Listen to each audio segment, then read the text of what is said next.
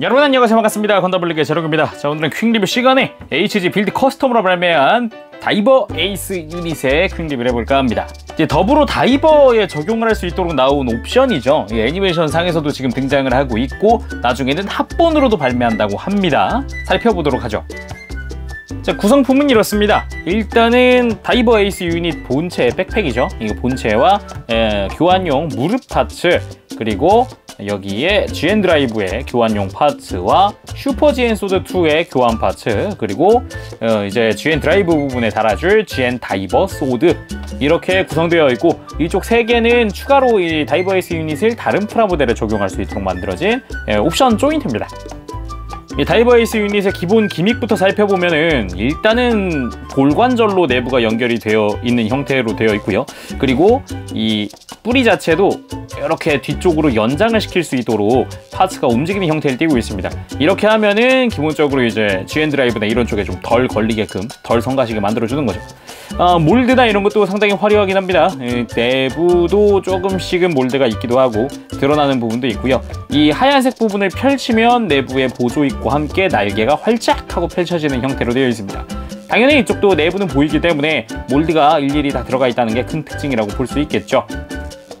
곧장 적용을 시켜볼 텐데요. 일단은 어, 분해해야 되는 부분이 무릎 분해를 먼저 해주고 그리고 GN 드라이브도 부분, 분해를 해줘야 되는데 드라이버를 뺄 때 좀 불편하시는 분들은 자세히 보면은 드라이브 아래쪽에 애매하게 나 있는 홈이 하나 있습니다. 여기를 통해서 손톱을 집어넣어서 빼면은 좀 더 편하게 빠르게 뺄 수 있습니다.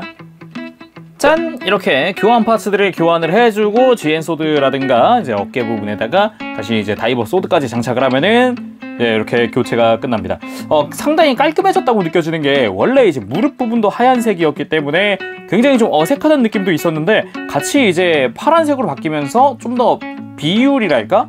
밸런스가 좀 맞다는 느낌이 좀 들기도 하고요. 그리고 이 약간 더블오라이저가 된 듯한 이런 sword 덕분에 어, 그런 것도 있고 백팩 부분에 날개가 추가되면서 좀더 어, 실루엣이 좀 더 화려해진 느낌도 있어서 어, 굉장히 뭐랄까 되게 어색했던 이 더블오 다이버가 약간 완성형이 되어 간다는 느낌은 있네요 확실히.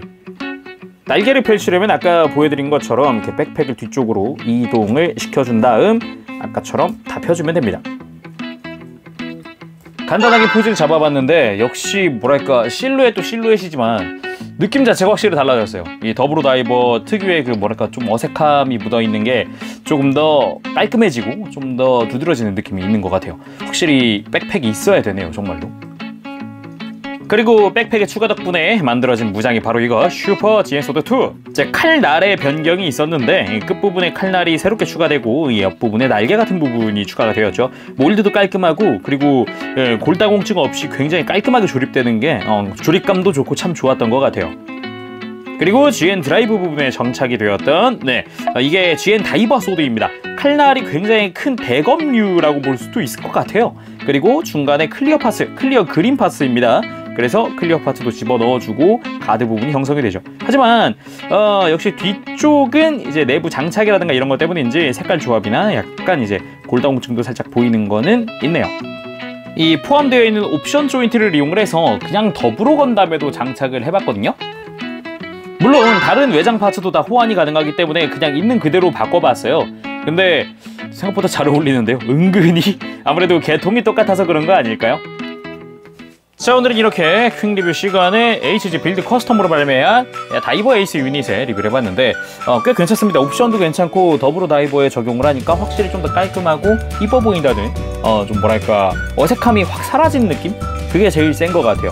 그래서 확실히 백팩이 있어야 된다라는 그래야 완선, 완전체가 된다라는 느낌을 각인을 시켜주는 느낌이랄까 네, 그런 느낌이 확 와닿았습니다 자 그럼 오늘 여기까지 하겠습니다. 지금까지 재롱이었습니다. 다음 시간에 또 뵙도록 할게요. 그때까지 여러분들 즐거운 취미생활 되세요. 여러분 안녕. 빠빠시